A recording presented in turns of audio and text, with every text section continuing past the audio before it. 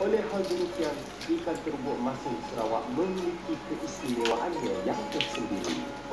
Selain itu, faktor utama yang menjadi keingatan ikan terbuk masin di Medan Niaga Satu adalah melalui garam yang digunakan mereka.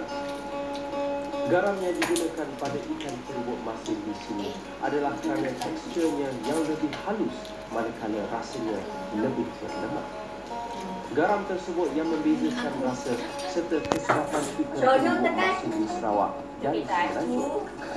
Garam yang digunakan juga menjadi kunci ikan terubuk masin di Semenanjung tidak sama malah kurang sedap dan berlemak berbanding dengan ikan terubuk masin yang terdapat di Medan Niaga satu ini. Panas.